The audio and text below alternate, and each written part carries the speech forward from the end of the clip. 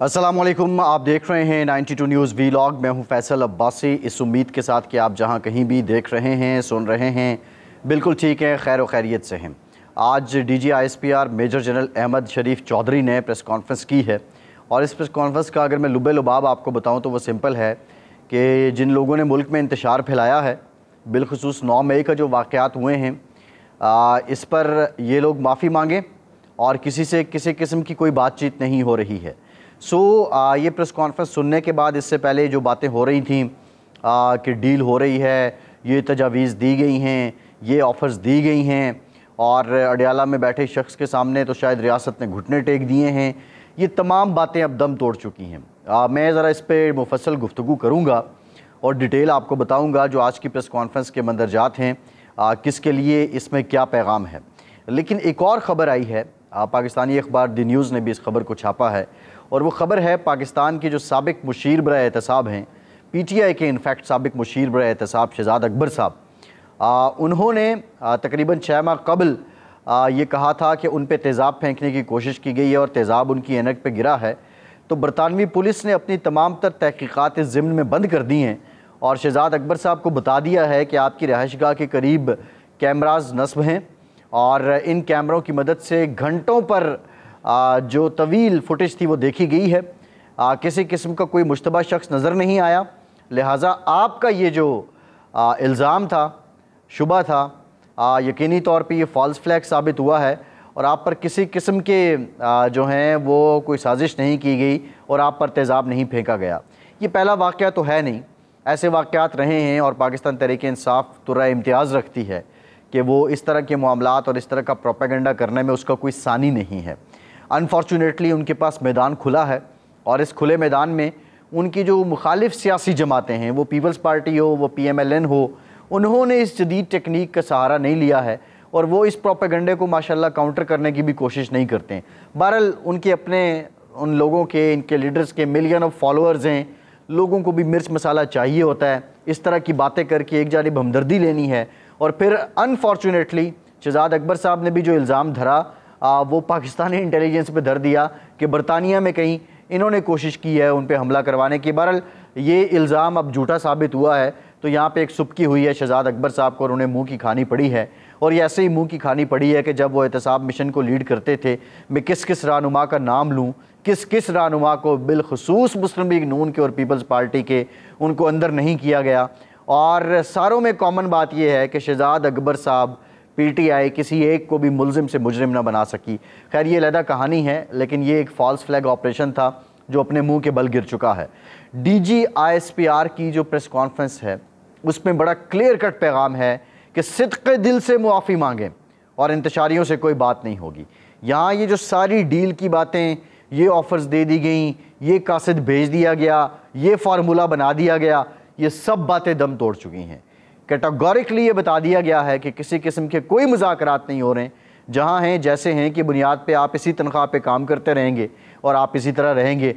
बाकी जो मामलात हैं कानूनी चारा जोई है कानूनी एतबार से अदालतें अगर आपको रिलीफ देती हैं अदालतें समझती हैं कि आप बेगुनाह हैं आ, तो फिर आप बरी भी हो सकते हैं। बहरहाल ये आज जो नौ मई से मुतक ये बात हो रही थी पिछले आठ नौ महीनों में ये बयानिया बना दिया गया कि नौ मई एक फ़ाल्स फ्लैग ऑपरेशन था। नौ मई इन्होंने ख़ुद करवा दिया। नौ मई में ये सारे लोग मुलवस हैं।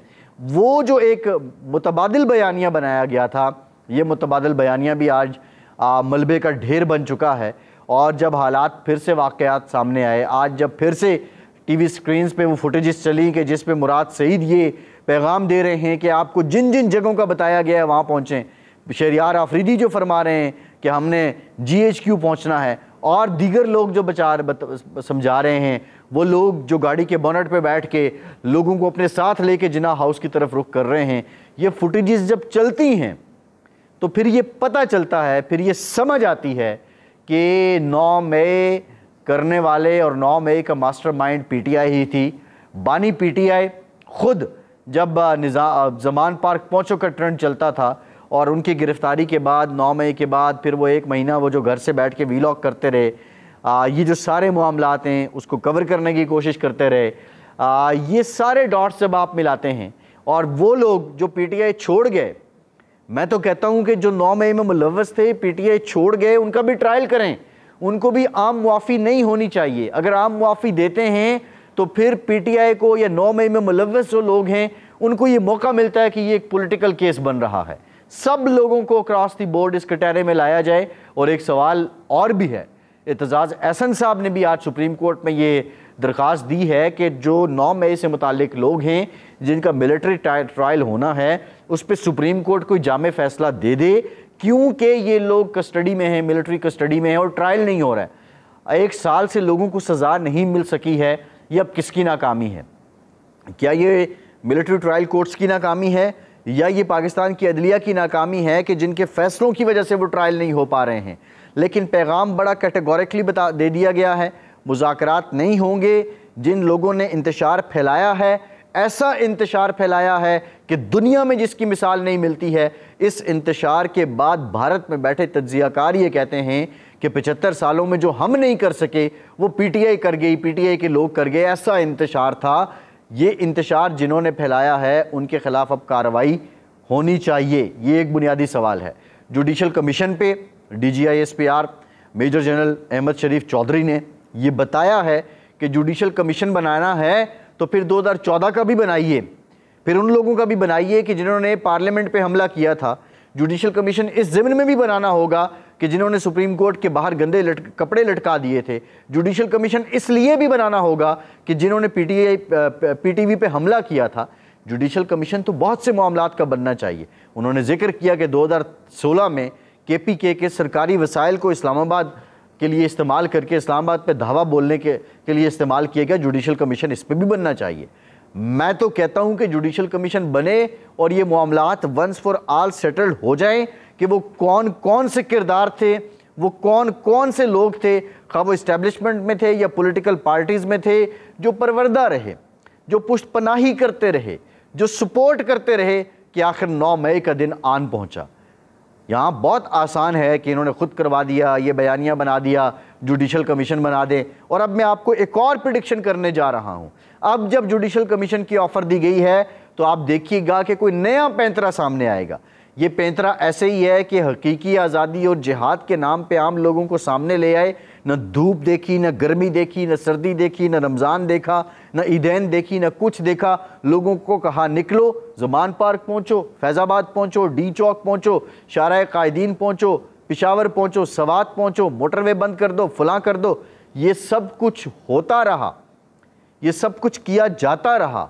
और फिर वो जिहाद और वो जो अमरीकी ग़ुलामी थी अब अमरीका से जो एलामिया जारी किया गया है, डोनाल्ड ब्लूम अमरीकी सफ़ीर की पी टी आई रहनुमाओं और अपोजिशन लीडर उमर अयूब के साथ मुलाकात का, उसमें यह कहा गया है कि जो पाकिस्तान में कानून की अमलदारी है, उसको यकीनी बनाया जाए। क्या आप मदाखलत का रास्ता अमरीका को नहीं दे रहे हैं? क्या ये आम लोग जिनके बच्चे, जो आज नौ मई के केसेस में अंदर हैं, या जो अंदर रह के आए हैं, वो भी तो हकीकी आज़ादी के नाम पे और जिहाद के नाम पे उनको इस्तेमाल किया गया। सो ये तजाद है। इस तजाद का मतलब क्या है? कहानी आज भी बड़ी सिंपल है। कोई नज़रिया नहीं है। नज़रिया आज एक और बड़ी प्यारी बात की है D G I S P R ने। उन्होंने कहा कि गैर जमहूरी, रवैया जमहूरीत के लिए ख़तरा है। क्यों जाते हैं आप खैर मांगने इस्टेब्लिशमेंट के पास? क्यों आप डील करना चाहते हैं? आप बने नेल्सन मंडेला आप गुजारें जो सज़ाएँ आपको हुई हैं जेल में। आप क्यों अमेरिका से कहते हैं कि पाकिस्तान में कानून कानून की अमलदारी होनी चाहिए? एक तो आप अमेरिका की चौधराहट के ख़िलाफ़ हैं। दूसरी जानब उसी अमेरिका से आप खैर मांग रहे हैं। ये जो दोहरे मैार हैं, ये जो दोहरे तजादात हैं, क्या इन तजादात में आप इकतदार हासिल करना चाहते हैं, सियासी मकासद हासिल करना चाहते हैं, वजारत उज़मा की कुर्सी पर बैठना चाहते हैं? धांधली का शोर आपने मचा रखा है, लेकिन के पी के में जहाँ आपको वजारत आला मिली, वहाँ तो आप धांधली की बात नहीं करते हैं। लेकिन इस्तेमाल कौन होता है? किसान का बेटा, हारी का बेटा, मजदूर का बेटा नौकरी पेशा शख्स का बेटा, अफसरान के बेटे, इस हकीकी आज़ादी और ग़ुलामी से निजात और जिहाद के नाम पे। लेकिन साथ आप मिलते हैं, आप कहते हैं, यहाँ पे कानून की अमलदारी को यकीनी बनाया जाए। कहाँ पे है वो ये सारा मामला? हजूरे वाला, सिंपल सी बात है। एक तो इंतजारियों से मुजाकरात नहीं हो रहे, ये बात तय हो चुकी है। वो लोग जो वी लॉक पर बैठ के रमज़ान में रिहाई बड़ी मुलाकात, कासिद भेज दिया। वो जो डमाडोल किस्म के बयानिया था और लोगों को ट्रैप करते थे, वो तो कम अज़ कम आज पिट चुका है। और लेकिन इसके बावजूद वो आप देख रहे होंगे वो बातें चल रही हैं। दूसरी इंपॉर्टेंट बात यह है कि हकीकी आज़ादी ढेर हो चुकी है। इस पर मज़ीद इस्तेमाल मत हों पाकिस्तान के लोग। बाकी नौ में एक वाक़ था, अफसोसनाक वाक़ था। वाक़ है, पाकिस्तान की तारीख में इसको योम सिया तस्वुर किया जाएगा और इसमें मुलवस जो लोग हैं, शरीक जो लोग हैं, इसके जो मनसूबा साज हैं और इसमें जो जहन साजी करने वाले लोग हैं, माइंड मास्टर हैं, उन सबको कटारे में लाना बहुत ज़रूरी है। फैसल अब्बासी को इजाज़त दीजिए।